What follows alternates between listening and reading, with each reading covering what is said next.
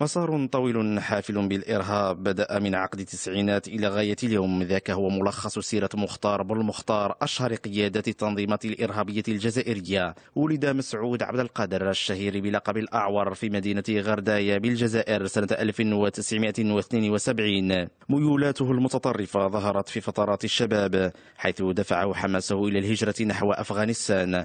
هناك تدرب وقاتل ضمن صفوف تنظيم القاعدة وهو لم يتجاوز العشرين عام عاما. عاد بعد ذلك إلى الجزائر بعين واحدة فقدها في ساحات المعارك التي اكتسب فيها خبرة كبيرة في عالم التنظيمات الإرهابية.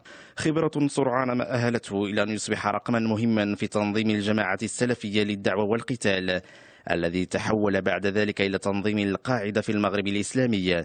لم يستمر بالمختار طويلا في فرع القاعدة الجزائري بسبب خلافة عميقة مع زعيم التنظيم ليشرع في مغامرة جديدة حيث أسس كتيبة أطلق عليها الموقعون بالدم. نفذت هذه الكتيبة أحد أعنف هجماتها الدموية باستهدافها منشأة لإنتاج الغاز بعين أمناس وخلفت هذه العملية عشرات القتلى في صفوف العمال الأجانب.